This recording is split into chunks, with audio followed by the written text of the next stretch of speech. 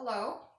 So I am dedicating this um, video to my mom, who is wonderful, and she has stated how much hymns help her, and particularly how this was my grandma's favorite hymn. So I'm going to go ahead and actually dedicate the whole album to her, but specifically this song.